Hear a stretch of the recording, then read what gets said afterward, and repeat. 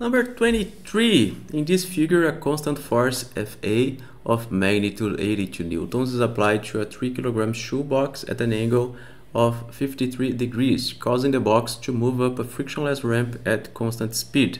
How much work is done on the box by Fa when the box has moved through vertical distance h of 0.15 meters? Okay, there are two different ways to solve this problem. The easiest one is using energy conservation. However, energy conservation and potential energy we're going to learn only on chapter 8 and this is chapter 7 so we have to use some work uh, uh, work and forces here we, we cannot use conservation of energy or potential energy so let's see which forces do we have here uh, acting on our shoebox. So we have Fa, of course. We have the gravitational force over here. And we also have the normal force over there. Okay. And we know that the movement, it's, let's see, it's upwards, right? At constant speed. So let's use the work and kinetic energy theorem. So the work done is equal to the change in the kinetic energy so we know that the normal force doesn't causes any work because it is perpendicular to the movement. And remember that the work is equal to the dot product between the force and the direction of the movement and the movement itself. So this would be zero for the normal force because they make 90 degrees and this dot product would be zero.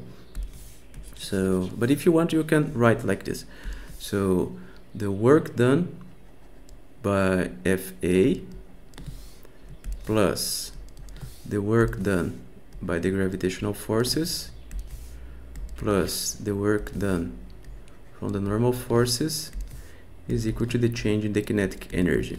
And we know that this is zero, right? Also, the change in the kinetic energy is also zero. So because the, the, the, the speed is constant, right? So this is zero as well. So the work done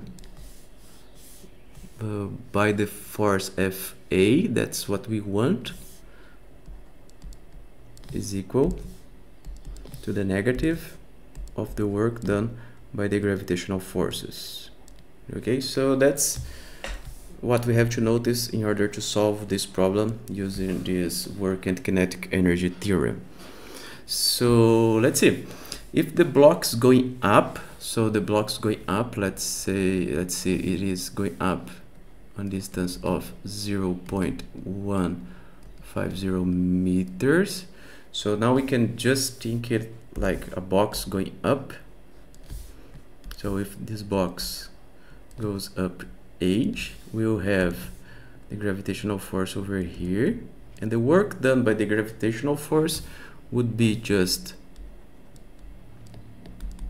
minus fg times h. Why the negative sign over here? Because the movement is upwards and the gravitational force is downwards so the dot product will gives us this negative sign over here so this would be equal to minus m times g times h. So if we replace this equation over there, we can find that the work done by FA is just equal to mgh.